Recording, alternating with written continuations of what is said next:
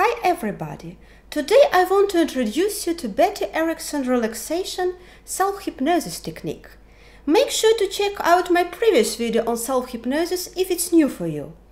I leave the link in the description below. But also subscribe to my channel and hit the notification bell so you don't miss any of my new content on psychology and mental health topics I publish every Friday. So let's get started. This self-hypnosis technique is also called the 5-4-3-2-1 technique. It's very simple yet powerful and it's created by Betty Erickson, the wife of the famous psychiatrist and hypnotherapist Milton Erickson. Before you start to practice, make sure you are well prepared. It's of great importance. Decide exactly what it is that you want to achieve and write it down. Be very clear about what you want to do. Keep it simple and positive. For example, if you have to speak to a group of people and you find this extremely scary, you could decide that as long as you are in self-hypnosis, you will experience all kind of situation in which you experience yourself enjoying, relaxed, and full of self-confidence when you're in front of a group. You can also say, I'm feeling more confident each day.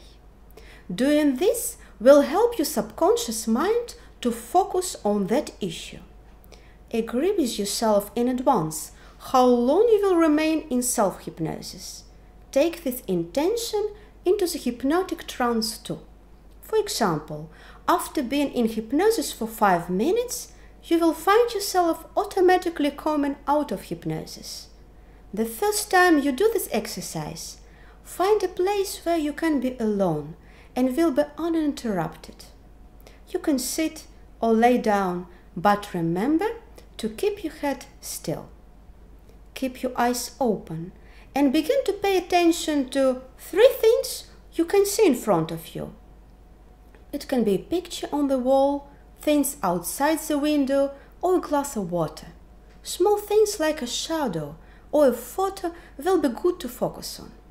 Tell yourself three things that you perceive while watching. Focus your attention on those things that are not so obvious. It's not enough to say, I see a glass, but look at his shape, color, and the reflection of the light. Then focus on three things which you can hear. What do you hear? Focus on what you usually wouldn't hear immediately. For example, someone walking around the house, a car passing by, the sound of your own breathing. You can say to yourself, I can hear the ticking of the clock or I can hear someone talking. Next, focus on three things which you can feel. For example, how your clothes feel on your skin, what are you sitting or standing on, how does the room you are in feel, hot or cold or something in between. Pay attention to subtle feelings like the weight of your watch. You could admit the heaviness of your body in the chair. And again, it's less effective when you say that you feel you have a foot, a leg, and an arm. It's much more profound when you say, for example, I feel a tingling in my head.